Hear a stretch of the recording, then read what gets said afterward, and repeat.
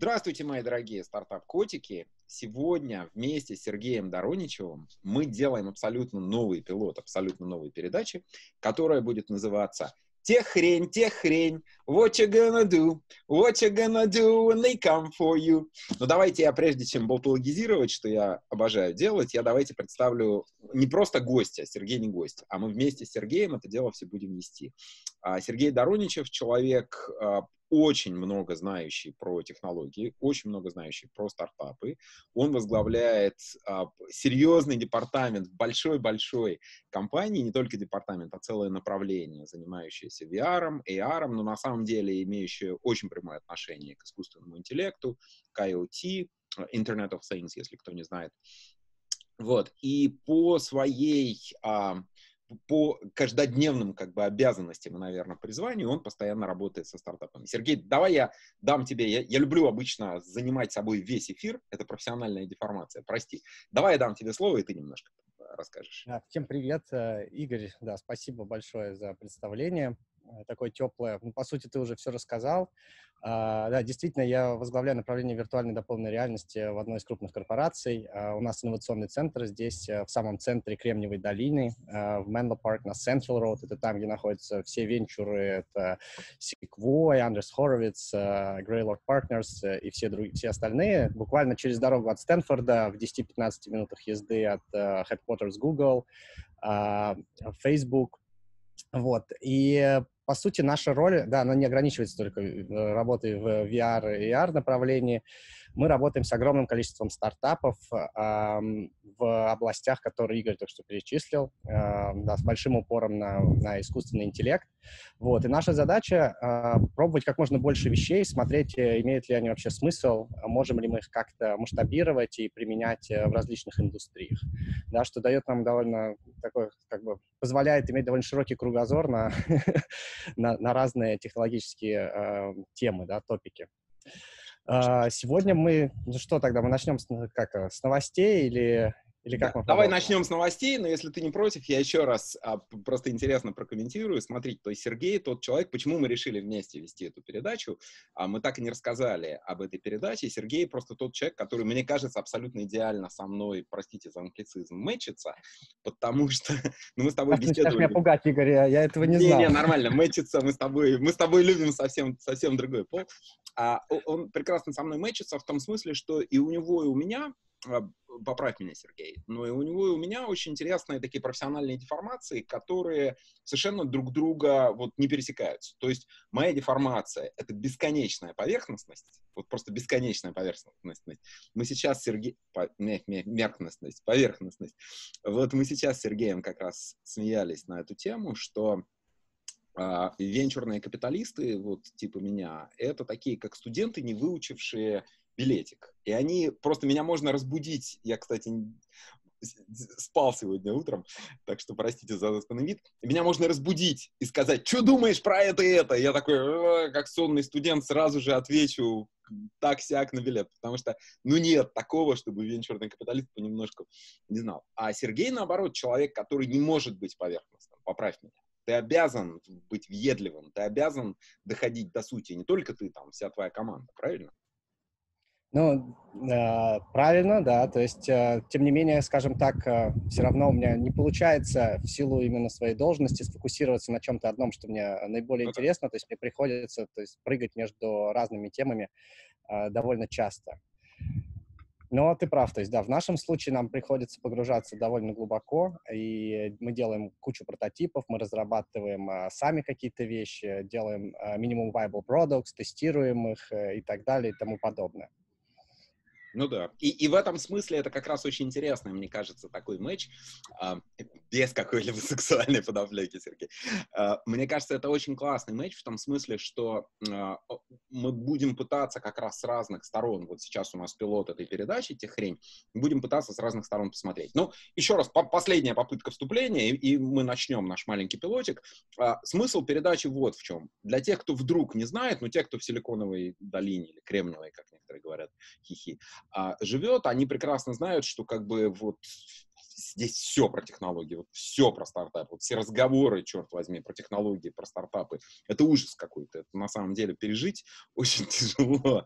И, в общем, ты, ты деформируешься, деформируешься страшно. Но здесь есть, наверное, один из самых известных а, таких порталов, публикаций, изданий а, TechCrunch. Э, который, ну, просто читает поголовно, там, многомиллионная аудитория, и мы решили сделать вот такую легкую пародию, которая называется не TechCrunch, а Теххрень, которая каждую неделю будет рассказывать о каких-нибудь интересных новостях. Вот давайте попробуем. Я также а, пытаюсь, делаю робкие попытки а, петь. А, те, те из вас, кто прям совсем-совсем, кому это не нравится, вы напишите, но пою я примерно так. Теххрень, теххрень, what you gonna do? What you gonna do when they come for you?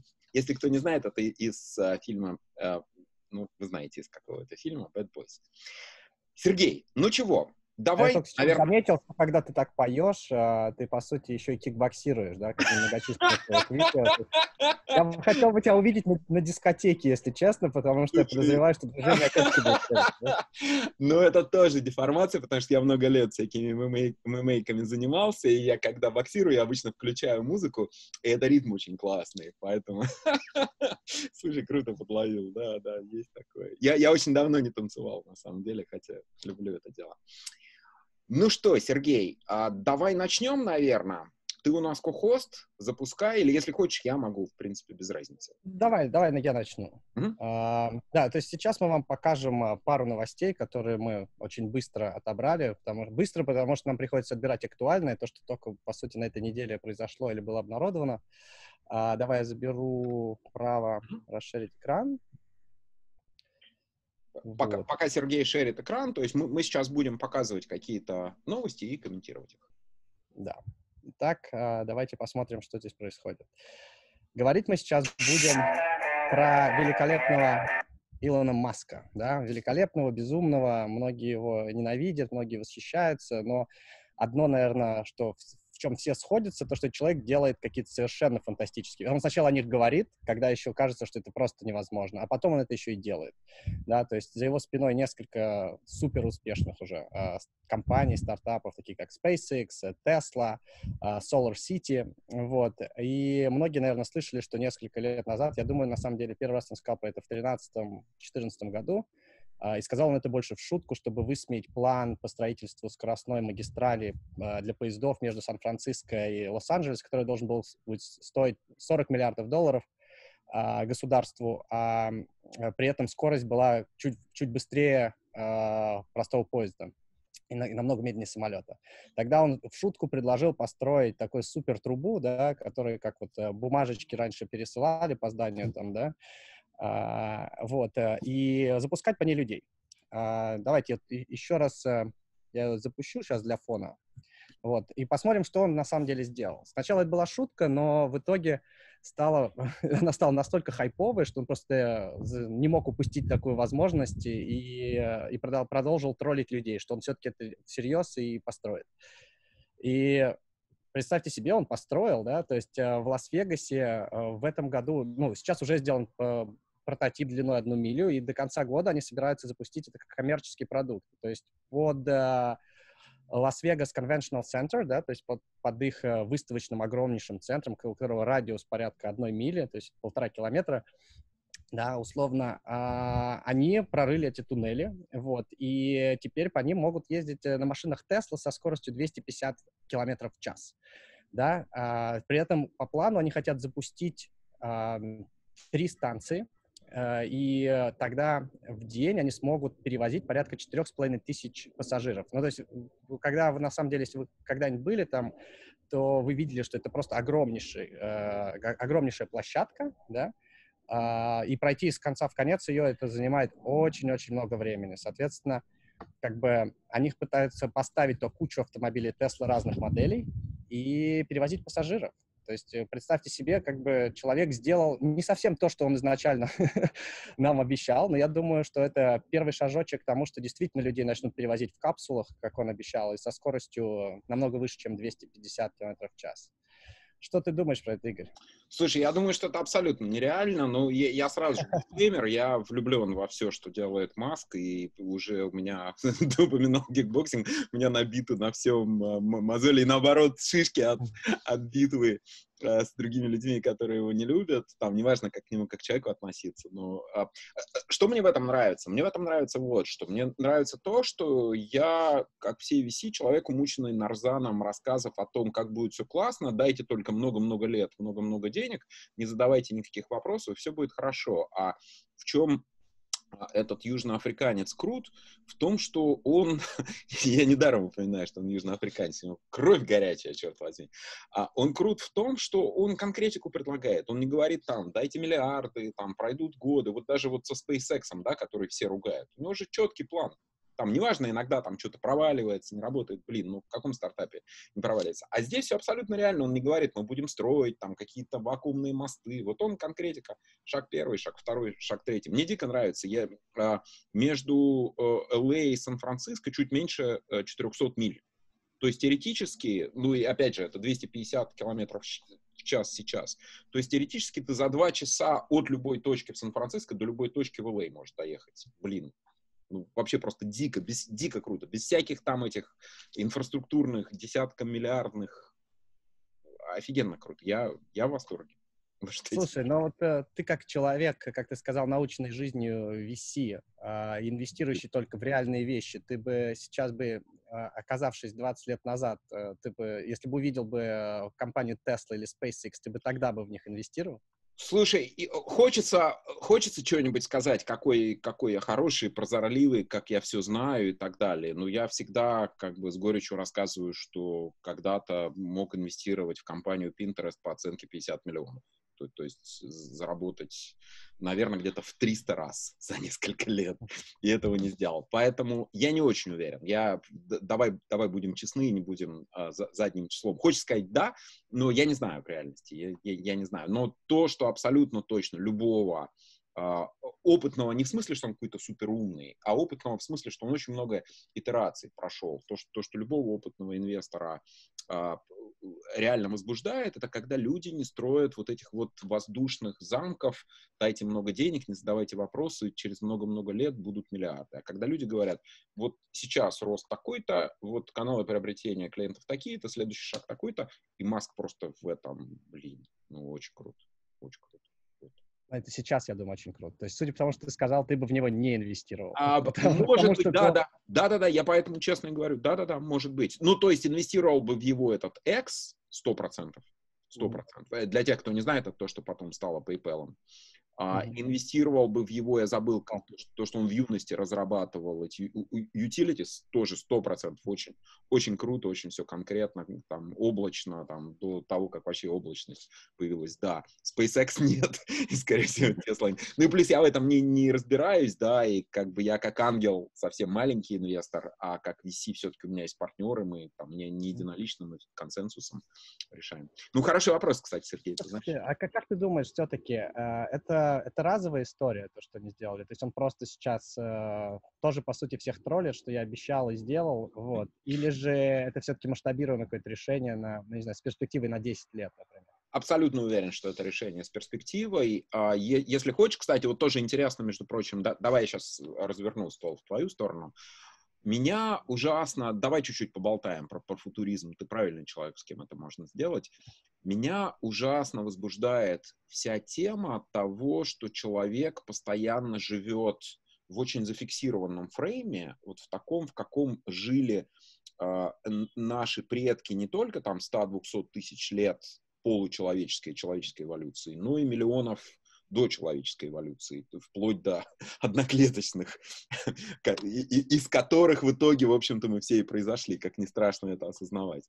Вот. И а, э, забавно, что мы приспособлены как бы в нашей такой уже примат, прим, приматской или приматной, наверное, эволюции, мы приспособлены в основном для жизни на равнинах и холмах Африки, а, в, в такой шкуре с хвостом на деревьях там, и так далее, и так далее. Это, это смешно, но это правда так, это я не преувеличиваю. И мы все привыкли жить в каком-то одном и том же фрейме. Мы не представляем себе, что этот фрейм, и я в том числе тоже, что этот фрейм поменяется. Но я абсолютно уверен, что, а, вот, вот скажи мне, что ты думаешь, а, а, машины, которые достигнут вот этого третьего там и четвертого уровня driverless, буквально вот прям за углом. Я думаю, что за углом, это тоже, кстати, интересно, что ты думаешь, я думаю, что там больше вопрос не к технологии, а больше вопрос к регулятору, насколько регулятор государства позволит этим машинам двигаться. Второй вопрос, это вопрос по регуляции скорости. Если машины будут driverless, если машины смогут, да даже не обязательно в этом туннеле, а вообще на дороге, а, с гораздо большей степенью безопасности и реакции двигаться, то почему машины абсолютно легко могут со скоростью 200-250 километров, ну, более или менее легко уже могут со скоростью 200-250 гонять. Почему им не гонять? Почему не запретить э, человека за рулем в этом случае, потому что как бы будет аварийность? Почему тогда, э, нафига вообще нужны тогда большие города? Вот я живу там,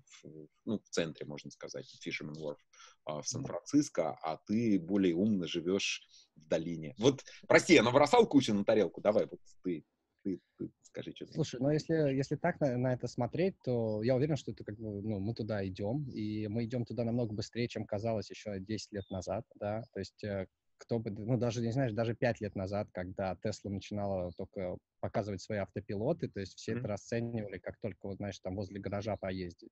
Я сейчас у меня есть огромное количество друзей, которые на хайвеях, там, да, они включают этот автопилот, э, да, как одним глазом mm-hmm. смотрят и ездят. То есть это реально работающее решение, вот, э, которые здесь уже сейчас. При этом я думаю, что если заглядывать немножко вперед, то вся история будет значительно проще, если реально все машины будут уметь это делать и начнут общаться между собой. То, что ты сказал, если вот, вариант запретить реальных водителей, я не знаю, конечно, когда до этого дойдет, но, возможно, в каких-то маленьких странах вот, или маленьких регионах а, это будет вполне реальный случай. Я не знаю, на Манхэттене, например, там все равно на своих машинах никто не ездит. Они скажут, знаете что, здесь только такси, и они только все как бы сами ездят.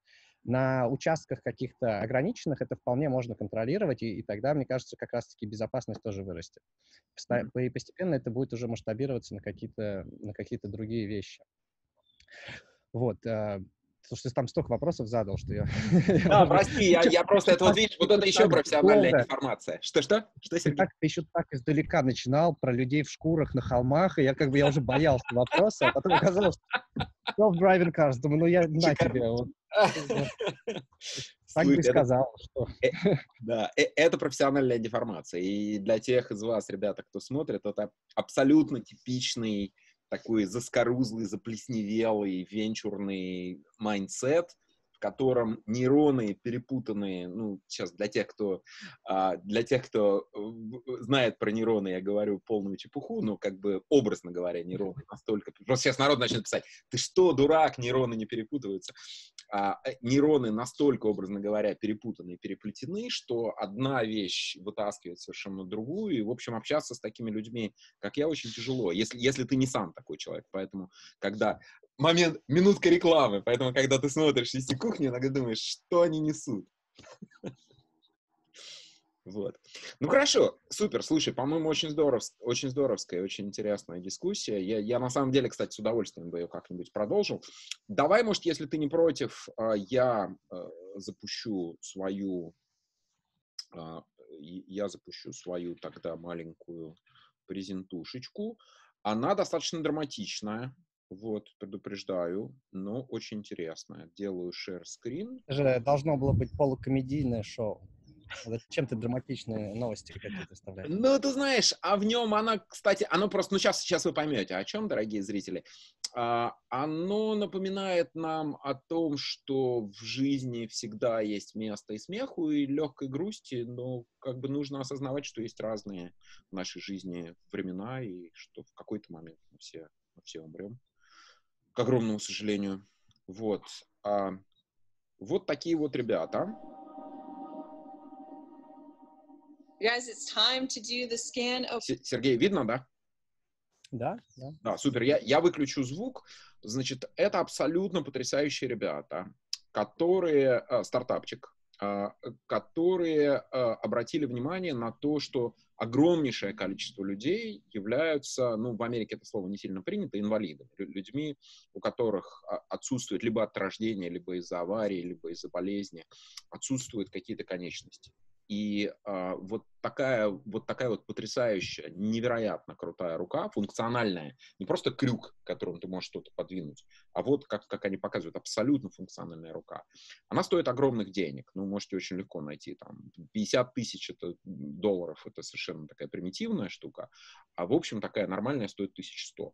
И вот ребята сделали руку, которая не просто рука, сейчас вы посмотрите, она очень правильным образом подсоединяется к, к тем Uh, я пытаюсь сейчас правильно по-русски, по-английски-то с трудом это объясню, uh, к тем uh, окончаниям человеческим, нервным, которые у человека есть, и дальше человек тренируется таким образом, чтобы можно было заставлять пальцы шевелиться, ладонь открывать и так далее. И за несчастные, по-моему, начинается с 6 тысяч долларов, или 7, 7, по-моему, тысяч долларов, эта рука, и она делается индивидуальной, там а, тон кожи, естественно, размеры руки, и по мере того, как ребенок, если это ребенок растет, то эта рука там делается больше и так далее, реконструируется, там можно, можно выбирать различные опции того, насколько это жесткий материал, не жесткий, а, насколько там ускорение, насколько я, я сейчас э, с ужасом, Сергей, захожу на твою территорию, все эти термины, которые я говорю, там, гироскоп и прочие вещи.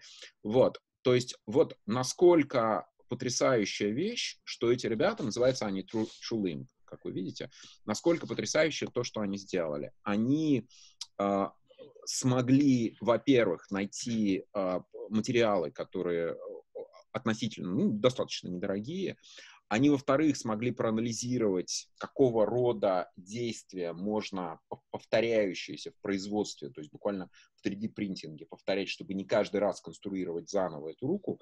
И они нашли возможность то, что другие делают за такую примитивную за 50 тысяч, ну, относительно примитивную руку, и более серьезную, вот такого же уровня, ничем не хуже на самом деле.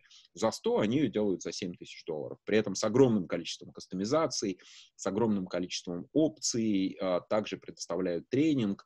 Ну, это, с моей точки зрения, просто настолько потрясающий прорыв, что ну, даже сложно сказать. Вот. И да, сразу же отвечая на вопрос, да, это что-то, во что вот такие инвесторы, как я, безусловно, бы рассмотрели возможность инвестировать. Что думаешь? Я думаю, что, во-первых, э, что это просто потрясающе, что с каждым годом э, предпринимательство и, не знаю, изобретательность, да, изоб... не знаю, как это сказать, вот становится все более и более доступно для простых людей, для маленьких компаний и так далее. То есть я уверен, что 20 лет назад э, что-то подобное могли сделать только какие-то большие корпорации. Именно поэтому это и стоило таких космических денег. Сейчас, когда со стороны там софта у тебя все в open source, да, ты можешь вот там все, все выкачать и использовать, как там у тебя, вот ты сказал, нейроны, там нервные окончания будут, э, да, не нейроны, нервные окончания будут а, с твоим протезом взаимодействовать, а, просто находясь дома. Вот, при этом там напечатать какие-то части на 3D принтере или еще что-то. А, и у нас получаются в итоге вот такие вот потрясающие как бы продукты, которые в разы там или там в пять раз дешевле, да, чем, чем любые, любые аналоги. То есть это, Прости, ну, это в 20, супер. 5, в 20. В 20. 20, вот. А, ну, то есть вообще какое, обалдеть. Вот. А, мне вот интересно, знаешь, опять-таки, э, с твоей точки зрения, э, как инвестора, когда к тебе приходят и начинают питчить вот подобного рода проекты, как это impact investment, да, а, вот, а, насколько, как бы, у тебя не возникает ощущение, что как бы они ждут, что тебе сложно сказать им нет, вот, э, да, вот как, как где это было там в 12 стульях, да, что как бы э, на голода... Нет, где это было? Это у Булшарикова, да, там было, в, про голодающее по Волжье, что вы, да, вы да, что, да. не сочувствуете детям, да? Да? Я очень сочувствую, но, но не хочу. Вот да, да, когда к тебе приходят стартапы с подобной идеей, говорят, вы же понимаете, что вы сможете помочь миллионам людей, вот. А, но ты, например, как бы не видишь там бизнес, э, бизнес-модели, да, mm-hmm. реально. А, что происходит в твоей голове в этот момент? Слушай, шикарный вопрос. Э, шикарный вопрос, абсолютно э, очень закономерный. Действительно, такое периодически происходит. Действительно, периодически приходят люди. Мы, а, совершенно не собираясь, несколько раз инвестировали. Мы, например, инвестировали в потрясающий по своей, я не знаю, доброте, глубине продукт, который позволяет слепым людям практически вообще с любым приложением а, с помощью а, iPhone и Android делать интеракции. То есть он просто читает, там, типа, здесь можно нажать это, здесь отвечает то-то, озвучивает, там, и так далее. Это просто абсолютно нереально. То есть люди, у которых, казалось бы, нет никаких шансов этим, этим а, пользоваться, там, куча всяких а, ключевых приложений, вот, а, они ими пользуются, это, это дико круто. Там, ну, ну, например, просто вот даже а, iTunes, да, и, или там подкасты, они же не приспособлены все равно для человека без зрения как ты можешь их выбрать. Э, вот, это приложение позволяет. Вот, то есть э, я уверен абсолютно, что я еще раз, да, да простят меня зрители, второй раз рекламирую Виси-кухню, но э, у нас был бурный спор на Виси-кухне между Сашей Джонсом и Игорем Рябеньким, моими друзьями, очень опытными двумя венчурными инвесторами. В общем, более или менее, а, наверное, все-таки мы пришли к дефиниции о том, что я боюсь, что я немножко приписываю свою точку зрения, но э, мы более или менее, как мне кажется, могу ошибаться, пришли к дефиниции о том, что смысл бизнеса все-таки в зарабатывании денег бизнеса, но смысл существования человека, э, там, меня, Игоря, Саши а, и прочих, не в том, чтобы зарабатывать деньги, а в том, чтобы быть человеком, и да, как бы часть этого это бизнес и капитализм и так далее, но, конечно, очень хочется жизнь свою прожить не только ради того, чтобы ты денег заработал, а ради того, чтобы ты что-то классное сделал. И вот тут ключевой момент для меня. Когда ты видишь пересечение этих двух вещей, а когда ты видишь, вот я, кстати, Трулим собираюсь прям серьезно посмотреть, что там с ребятами происходит, сейчас мы сделаем им хорошую рекламу, вот, а и, и, и для меня это, блин, это крутейшая коммерческая штука, слушай, там люди и страховка платят 100 тысяч долларов за то, что эти ребята продают за 7. Но нужно посмотреть, какие у них там profit margins и прочее. Слушай, да, они теоретически могут многомиллионную компанию построить и помочь людям. То есть мой ответ тебе, он такой не очень прямой. И если его совсем упростить, э, как бы дядь, дай миллион, ты упомянул э, Ильфа Петрова, да, помнишь этого беспризорника, который бежал за Остапом Бендером, и он ему яблоко в итоге дал, то есть я яблоко, нагретое солнцем, готов, конечно, дать практически любому, вот, но э, как бы одно дело бизнес, другое дело а, другое дело добрые дела. То есть добрые дела отдельно, бизнес отдельно. С моей точки зрения, как человек, я могу все что угодно, но как бизнес мы заточены под заработок денег. И если к нам приходит кто-то, вот типа вот этих гениальных ребят, которые предлагают какое-то интересное э, решение, которое еще и там в 20, блин, с лишним раз дешевле своих конкурентов, и гибче, и интересное, и там явно, возможно, и подписка, и там куча разных бизнес-моделей, и вообще дико доброе, хорошее, ну, это... Да, встроенный Apple Watch и все остальное. Да, да, да. А, абсолютно, абсолютно. И ты знаешь, я, я на самом деле, вот давай я, давай теперь тоже, вот, вот классно, кстати, у нас, мне кажется, это у нас с тобой пилот, но мне кажется, классно получается вот разворачивать все время стол друг к другу и задавать друг другу вопросы. Мне, я, я прям очень доволен. А, давай к тебе это разверну. Вот ты как человек такой а, более технологический, и я думаю, мы так или иначе в передаче нам придется о футуризме, о футуризме периодически говорить. Ведь мы же идем к этому, что человек начнет, там, тело начнет вот там руки заменять, органы заменять, там, голову. Что ты думаешь, насколько это быстро? И что, what will go first? Что, что будут теми первыми частями, которые люди, там, не знаю, глаза, уши? Значит, ну, они уже есть, да, то есть, в первую очередь, это руки. Э, и я более того скажу, то, что в этом году, э, и в этом, по-моему, и в прошлом это тоже было на CS, да, для тех, кто не знает, это самая большая в мире консюмерская конференция, выставка, проходит ежегодно, то есть, э, и там показывается куча всего, от летающих, значит, квадрокоптеров, этих летающих такси, VR, AR и, и все остальное. Так вот, и там был, ну, отдел робототехники, и, соответственно, мне кажется, что оба года. Э, я видел человека, э, у которого нет рук, вместо, вместо его рук у него э, такие протезы, как, прям, только они выглядят не так красиво, как эти, а вполне себе как у Терминатора, такие железные. И что он творил? То есть он там чуть ли не жонглировал просто. Он, он все, что угодно мог делать этими руками. И этот человек, он сам CEO, создатель этой компании, именно потому что у него такая вот, э, такое несчастье случилось да. в жизни, он стал как бы копать, э, разбираться, как можно вообще это адресовать, да, как можно решить этот вопрос. И он создал свою компанию, они делают эти протезы, я не знаю, сколько они стоят. Если, если бы я знал, что ты будешь обсуждать эту тему, может быть, я бы э, нашел бы больше информации. Вот, и ну, то, то тоже могли обсудить, но это было фантастически. То есть я стоял, смотрел завороженно. И, то есть, отвечая на твой вопрос, как скоро это будет, это уже происходит. Mm-hmm. Вот. И происходит нам намного-много быстрее, чем многие из нас могли представить там 10 лет назад. А, говоря про то, что какие части дальше будут заменять, на самом деле у нас тут недавно была довольно интересная дискуссия. И один а, мой товарищ, он как раз рассуждал вполне серьезно на то, что что такое киборг. Да? В нашем понимании киборг — это когда части тела ты начинаешь а, либо усиливать, либо mm-hmm. дополнять а, какой-то электроникой. Он говорит, ну а какая вот тебе разница? Говорит, представь, что ты Apple Watch вошьешь под кожу, ты тогда станешь киборгом, а по функционалу ничего не поменяется, что по сути твой там смартфон в руке да, вот, да. или часы, они уже тебя делают, вот, они как бы, они mm-hmm. дают тебе свои суперспособности, и неважно, как бы они у тебя приклеены к коже или ты их держишь. То есть э, дальше это, ну, больше. Сейчас вот все эти smart glasses и прочее, появятся контактные линзы, которые уже есть прототипы с дополненной реальностью. Ну, там еще довольно далеко до, до масштабных решений, но тем не менее это все там, ну, в течение 10 лет, да, то есть это в ближайшие 10 лет, я думаю, они будут посвящены как раз вот neuroscience и интеграции людей с электроникой на все более-более как бы таком суровом уровне. Слушай, ну а вот вопрос, я уверен, что я ответ знаю. Ты готов сам? Теперь я, я, я, теперь я вот боюсь, то, что вдруг я, у меня неправильный ответ, если ты знаешь ответ. Ну, Давай. Интересно. Готов? Готов к себе, ну, начинать вот эти вещи вставлять. Слушай, это так быстро, с одной стороны, так быстро все происходит, с другой стороны, все происходит плавно, да, это же не то, что сейчас, вот прямо сейчас тебе пришел доктор и вклеил в череп что-нибудь, он тебе сначала, я не знаю, там, эту шапочку из фольги повесит, потом еще что-нибудь, и ты постепенно, постепенно как бы поймешь, что это, тебе тяжело ее надевать каждый день, ты скажешь, ну, приклейте, вот, э, а потом, то есть, это, да, становится частью тебя.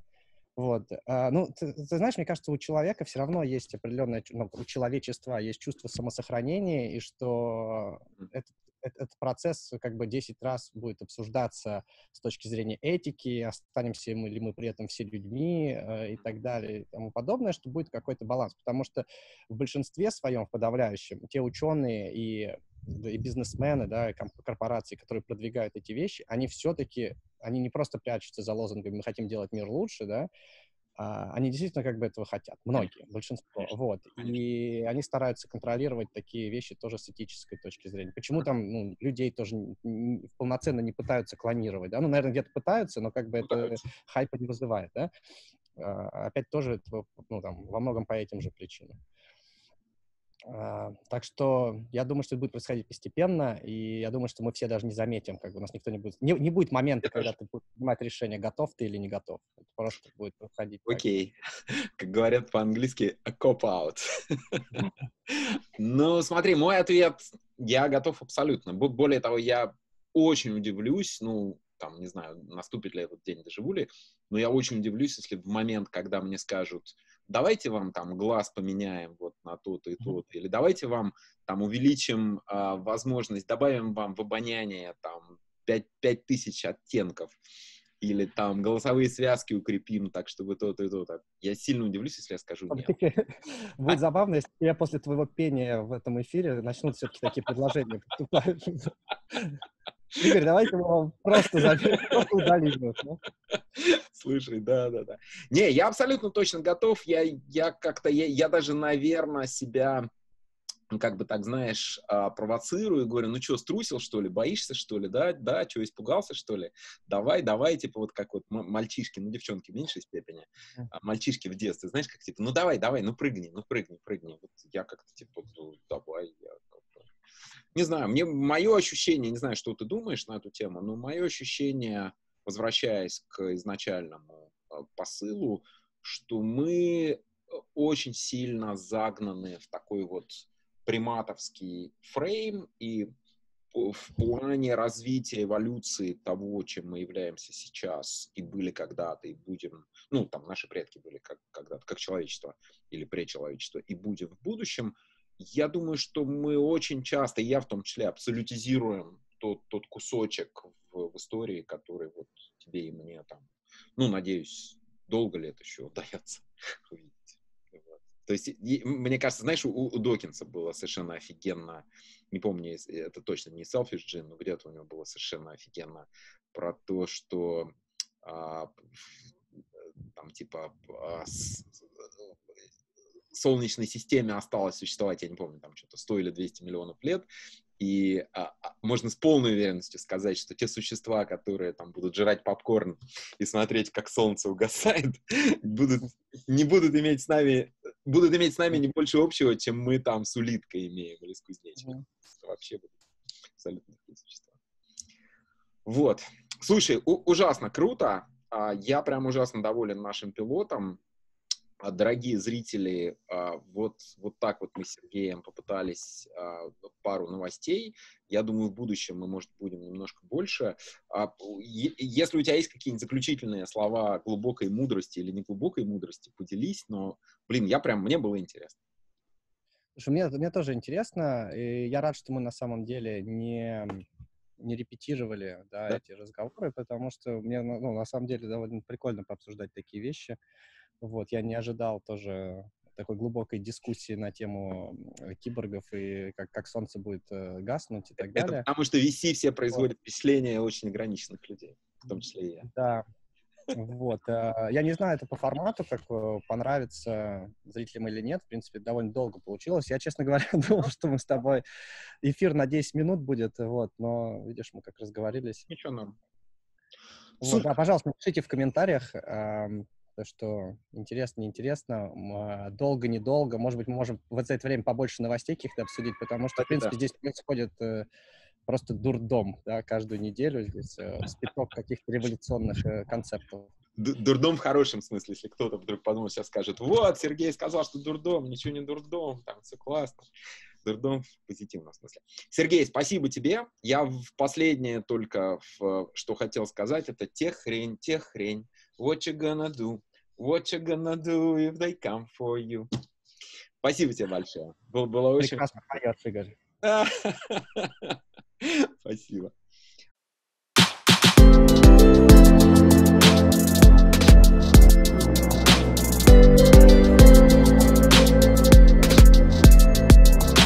Где стартап-котики? Как растут стартап-котики?